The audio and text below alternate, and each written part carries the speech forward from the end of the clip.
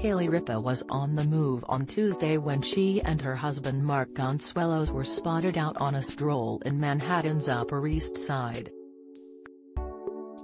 The 52-year-old live with Kelly and Ryan host was seen covered up with a black KF94 mask following her co-stars Ryan Seacrest's announcement earlier in the day that he had tested positive for COVID-19. Kelly and her 51-year-old actor husband were both dressed sportily for the city outing, which followed her predecessor Kathie Lee Gifford's statements that she would not be reading Kelly's new memoir, which touches on her working relationship with the late Regis Philbin. Kelly looked cozy in a simple white hoodie, which she wore with the hood down. She paired the item with baggy black sweatpants, along with sleek white Nike trainers, and she carried a black backpack with her that was slung over a single shoulder.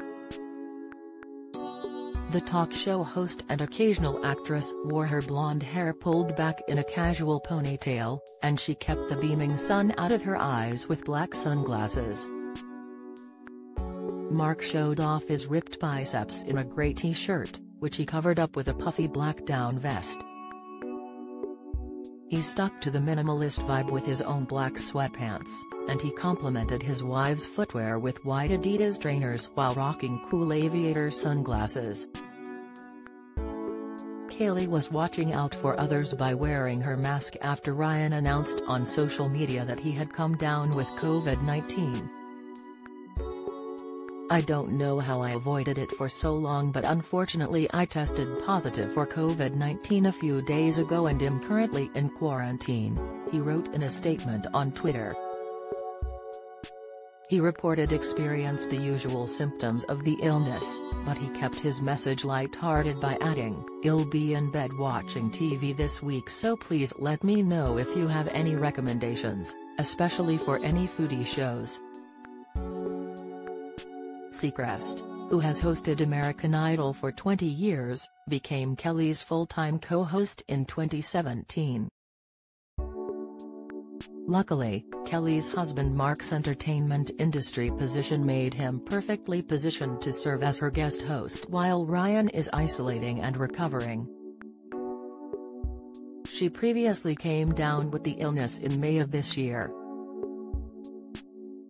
Mark and Kelly's outing came in the shadow of Kathie Lee Gifford, who co-hosted an earlier version of her popular morning show with her former co-star Regis Philbin, saying she would not be reading Kelly's new memoir Livewire, long-winded short stories. The TV personality, 69, said Monday on Good Day New York that she was put off by early news stories about the book detailing the complicated relationship Ripa had with Philbin, who died in July 2020 at 88. I was very sorry to see the headlines, Gifford said. We see headlines all the time, and you never know what's true and not true. I was in Israel, and I saw that and I went, oh, I hope this isn't true, I just hope it isn't, cause what's the point? I don't get it. She continued, I'm not going to read the book. I haven't read it. I don't even know if it's out yet. In the book, Ripa detailed how she did not have much repartee with Philbin when the cameras weren't trolling. Gifford worked with Philbin on Live from 1985 to 2000, with Ripa coming onto the show in 2001, said she treasured her own memories with Philbin. I know what Regis was to me, really, she said. He was 15 years, the best partner a person could ever, ever have, professionally. But he was my friend, we were dear friends. And after I left the show, then the next 20 years, we became better friends, dearer friends. I saw him two weeks before he died. Gifford said that she and Philbin always just picked up right where we left off and were absolutely perfect together for television.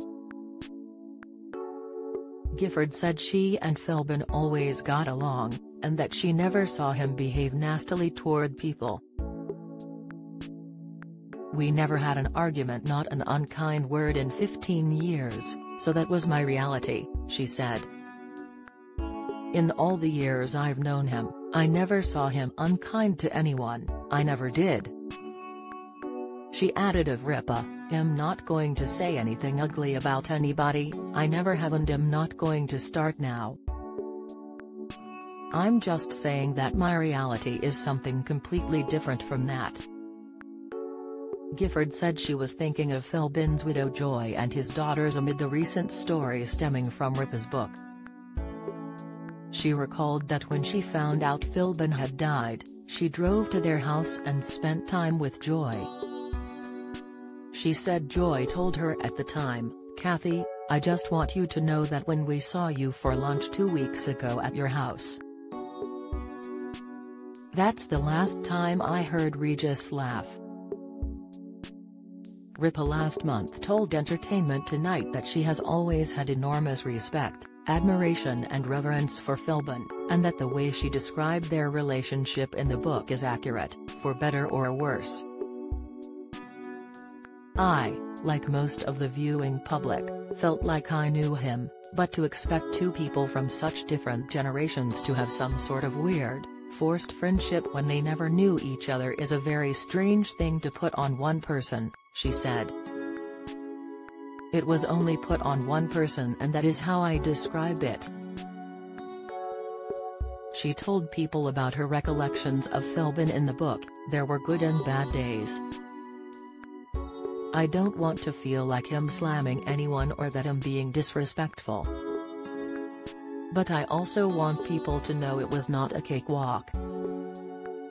It took years to earn my place there and earn things that are routinely given to the men I worked with. Including an office and a place to put my computer.